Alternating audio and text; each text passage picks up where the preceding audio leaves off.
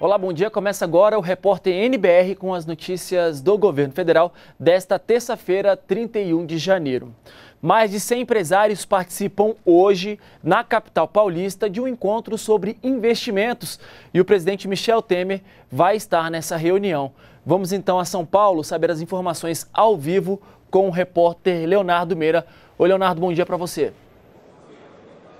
Bom dia, Leandro. Bom dia para você também que acompanha aqui a programação da TV NBR. Esse encontro que acontece hoje e amanhã aqui em São Paulo, ele reúne representantes do governo brasileiro e também diretores de instituições de crédito e investimentos aqui da América Latina. A programação aí ela inclui debates sobre as oportunidades de investimento em setores estratégicos para o desenvolvimento econômico, como infraestrutura, educação e saúde. A palestra de abertura abertura do evento acontece logo mais às 9h45 com o presidente da República, Michel Temer, e às 10h30 da manhã é a vez da palestra do presidente do Banco Central, Ilan Goldfein, com o tema Alicerçando Expectativas e o Caminho para o Futuro. Também está confirmada a presença amanhã do ministro da Fazenda, Henrique Meirelles. Leandro, era isso. Voltamos com você aí no estúdio. Tá ok, Leonardo. Qualquer novidade sobre essa conferência, você avisa a gente aqui no estúdio. E de São Paulo, a gente volta aqui para Brasília, porque hoje tem reunião do Conselhão, que é o Conselho de Desenvolvimento Econômico e Social, que auxilia o presidente da República a formular políticas públicas. Quem tem as informações para a gente é o repórter João Pedro Neto, que vai acompanhar esse, a reunião do Conselhão e traz agora as informações para a gente. João Pedro, bom dia para você. Oi, Leandro, bom dia para você também, bom dia a todos que nos assistem aqui na TV NBR. Olha, essa é a primeira reunião dos grupos de trabalho do Conselhão, como é chamado, o Conselho de Desenvolvimento Econômico e Social do Governo Federal, que assessora, como você falou, diretamente o presidente Michel Temer na formulação de políticas públicas em várias áreas. Essa é a primeira reunião dos grupos de trabalho do Conselhão desde que ele foi reativado pelo presidente Michel Temer em novembro do ano passado. O Conselhão é formado por 98 membros atualmente, conselheiros que assessoram então o presidente Michel Temer. É, nesse primeiro semestre de 2017, o Conselhão definiu cinco temas para grupos de trabalho para eles se debruçarem aí nesse primeiro semestre de 2017, que são ambiente de negócios, agronegócio, educação básica, competitividade e produtividade e desburocratização e modernização do Estado. A primeira rodada de reuniões reuniões dos grupos de trabalho, então acontece hoje e amanhã, durante todo o dia, aqui na Escola Nacional de Administração Pública, a ENAP, de onde eu falo, aqui em Brasília. Uma segunda rodada de reuniões está marcada para os dias 14 e 15 de fevereiro, também aqui em Brasília. E a ideia, então, é que os conselheiros consolidem, então, uma pauta de sugestões e recomendações nessas cinco áreas que eu citei, para serem levadas ao presidente e apresentadas ao presidente já na próxima reunião plenária do Conselhão, que está marcada para o dia 7 de março. Leandro, volto com você. Tá ok, João Pedro, obrigado pelas suas informações. E o Banco Central divulga daqui a pouco os números de todo o setor público. O resultado inclui também dados dos estados, municípios e das estatais. Nessa segunda-feira foram divulgados números do governo central em 2016. A conta inclui Previdência, Tesouro Nacional e Banco Central. O dado foi negativo em mais de 154 bilhões de reais mais abaixo da meta estipulada pelo governo, que era de até 170 bilhões e meio de reais. E o e o Ministério da Saúde divulgou novos números da febre amarela. Mas antes disso, a gente vai chamar ao vivo, a, vai começar agora o, a reunião do Conselhão, lá onde está o João Pedro Neto acompanhando, e a gente também vai acompanhar ao vivo essa, essa reunião. Vamos, vamos assistir.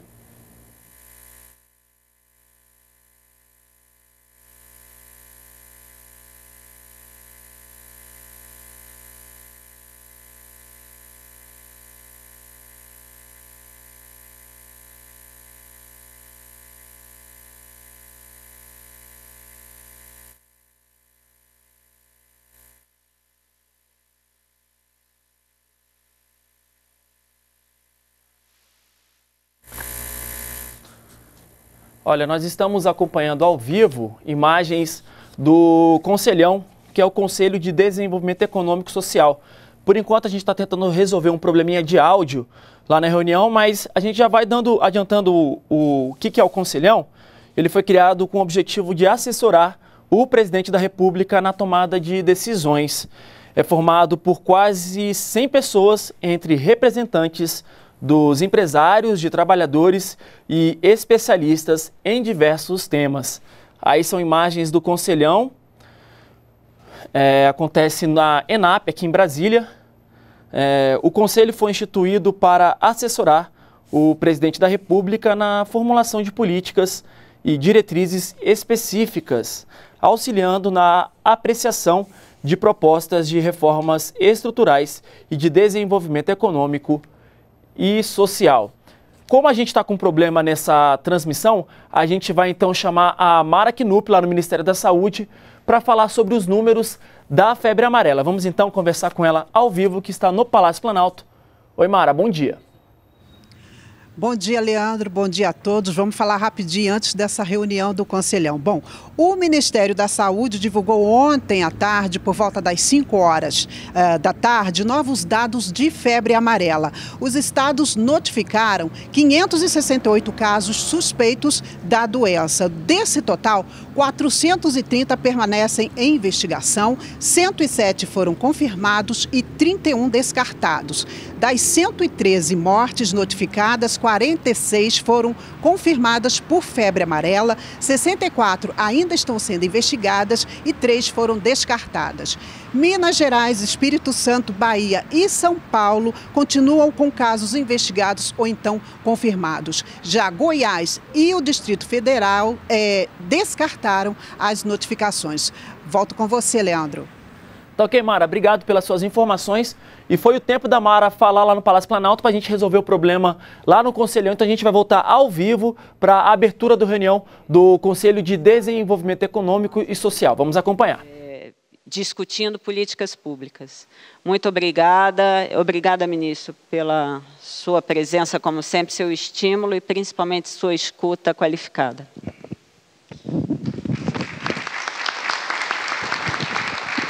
Bem, Bom dia, bom dia a todos e a todas.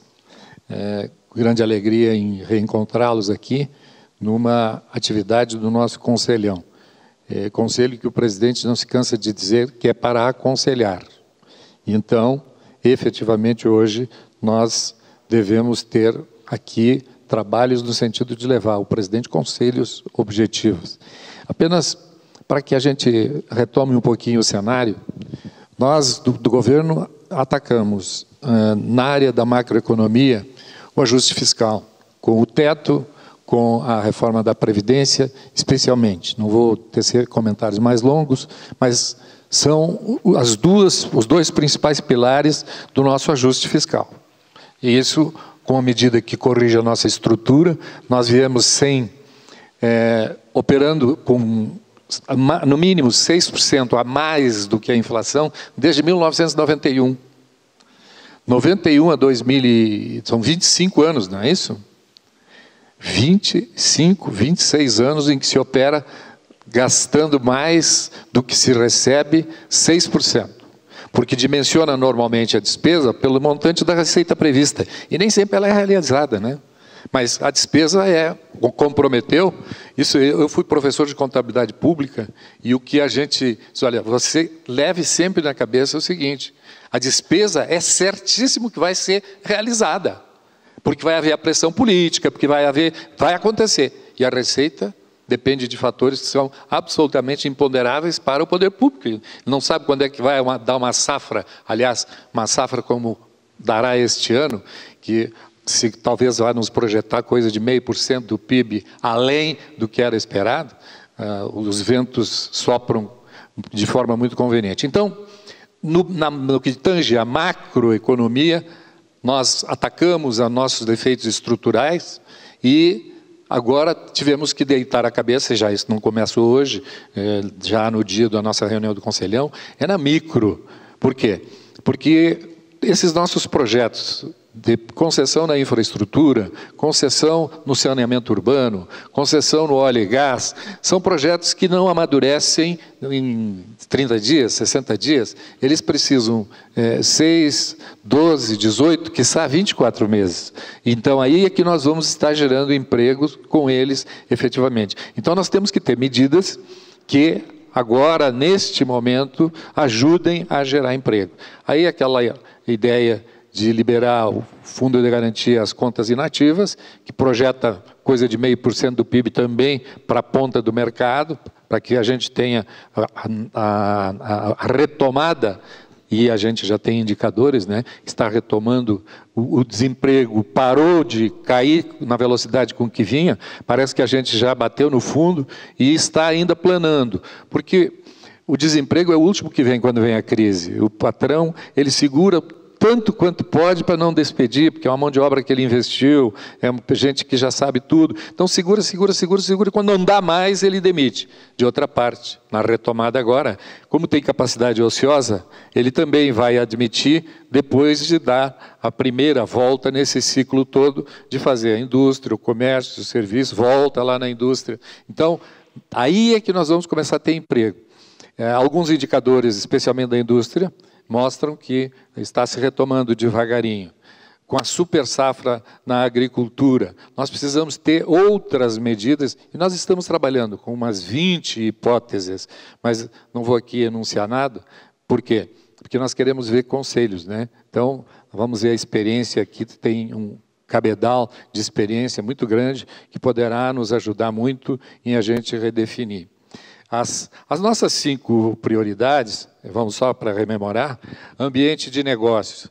Nós temos um ambiente de negócios no Brasil terrível, terrível, dos mais atrasados do mundo. Nós, uma, então, com muita boa, em muito boa hora e com muita oportunidade, foi escolhido esse tema. Educação básica. Óbvio que a educação no Brasil é o pilar pelo, através do qual nós podemos construir algum tipo de independência com sustentabilidade, senão nós vamos de voo de galinha. Nós precisamos conhecimento. Não há na história da humanidade nenhum país que conseguiu se afirmar com plena eh, sustentabilidade, a não ser a partir do conhecimento. É o conhecimento que dá a sustentabilidade. E as nossas escolas, infelizmente, nós temos que reconhecer que nós não, não damos o devido tratamento. Agronegócio, sem comentários. É, o Roberto faz por si só todo, toda a prosopopeia do tema, mas é no Brasil, graças a Deus, é, e realmente graças a Deus, porque é a natureza que nos dá essa condição de nós termos uma safra tão grande quanto vamos ter este ano, é, sinaliza coisas de talvez uns 15% acima do que nós tivemos no ano passado. Tem mais otimistas, eu prefiro ser mais conservador, mas já é muito, porque já vai dar meio por cento do PIB de mais, mais receita na ponta para o produtor, mais receita para o, o comércio das pequenas cidades do Brasil Grande, onde acontece o, o agronegócio. Produtividade e competitividade, é óbvio, nós, nós estávamos agora mesmo aqui discutindo conteúdo local, que é um tema que está amadurecendo dentro do governo para nós termos uma posição, não como era, mas também não dá para romper de uma vez por todas com tudo aquilo que se tem, porque muitos empresários eh, construíram seus, seus negócios, suas empresas, considerando aquela proposta que lá estava. Então nós temos que construir um meio termo para que se faça uma transição que seja tão indolor quanto possível é, a desburocratização e modernização do Estado. Se o nosso ambiente de negócio é um horror, então nós temos que desburocratizar o Estado, é, entre outras coisas, desburocratizar. Eu quero, assim, de uma maneira muito especial, agradecer aqui ao Chico, que nos acolhe, nos dá o teto e mais, a infraestrutura também é dele. Ouvi dizer que até o café foi ele que pagou. não estou acreditando muito, mas me disseram isso. Até o café foi ele que pagou. O Chico é um entusiasta da proposta do Conselho, é um entusiasta da desburocratização, tem conosco colaborado muito. Ele é membro efetivo, embora prefira, por enquanto, ser só honorário, mas ele é membro efetivo. Ele está conosco lá nesse programa de modernização, de digitalização do governo. Ele está muito bem é, enfronhado conosco. Veja, nós, para parar de falar e ouvir, é, nós sabemos o rumo que temos que andar, as nossas medidas para a macroeconomia são aquelas que o mundo todo esperava. A propósito, alguns indicadores. Ontem eu consultei o Risco Brasil, olhando de fora para dentro para ver, nós estamos com 294 pontos. No ponto mais alto que chegou em 536, 537. Quando nós tínhamos grau de investimento, era em média 240. Então, se nós estamos com 296, nós estamos a 56, 56 pontos de voltar àquela situação em que tivemos grau de investimento. Ah, mas isso automaticamente? Não, não é automaticamente, não. Tem outras variáveis. Mas a nossa inflação está no centro da meta e com tendência a ela cair. O juro vem caindo e o presidente do Banco Central falou lá em Davos que agora a variável que será considerada em cada período será de 0,75. Tomara que assim seja, que nós vamos chegar em um dígito no final do terceiro trimestre deste ano. Que com um dígito nós já temos muito, muita. Então, Jorge, tudo bem? Não havia lhe cumprimentado ainda. Não. Jorge é padrinho meu lá do Rio Grande, então eu, quando vejo ele, eu tenho que fazer a reverência, senão depois ele me diz lá para os eleitores do Rio Grande: olha, esse cara não, não dá mais. Mas veja, nós, a Bolsa de Valores está em 66 mil pontos, não é isso? Era 37 quando nós assumimos o governo. O valor das ações do Banco do Brasil, da Eletrobras, da Petrobras, dão um exemplo de o quanto está se acreditando nesta nossa proposta de macro, macroestrutura da economia. Quer dizer, lá nós estamos certos. Então nós temos é que gerar agora empregos. Esse nível de insegurança nas nossas grandes cidades, ele resulta muito da questão do desemprego.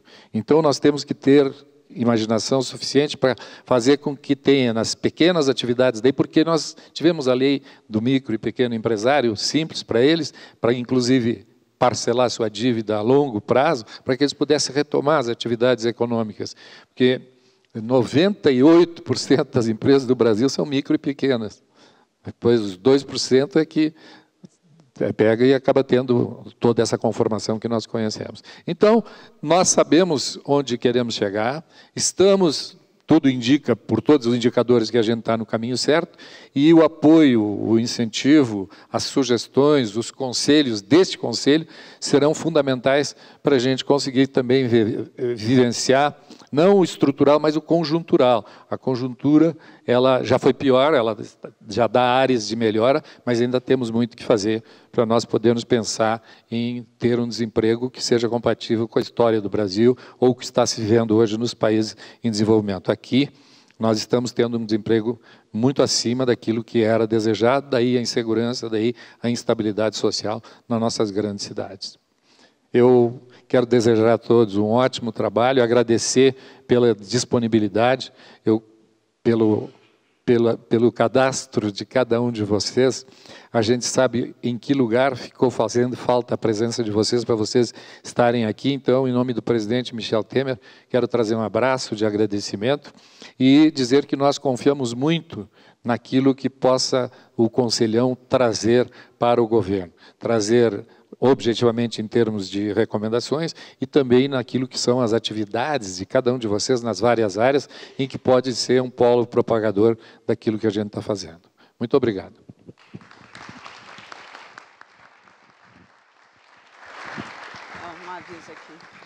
Nós imediatamente agora vamos nos deslocar para as salas dos grupos de trabalho, educação básica no primeiro andar. Tá aí, nós acompanhamos ao vivo a fala do ministro, da chefe da Casa Civil, Eliseu Padilha, falando na abertura do, da reunião do Conselho de Desenvolvimento Econômico e Social. O Conselho foi instituído para assessorar o presidente da República na formulação de políticas e diretrizes específicas, auxiliando na apreciação de propostas de reformas estruturais e de desenvolvimento econômico e social. Nós ficamos por aqui, continue com a gente na TV NBR, a TV do Governo Federal.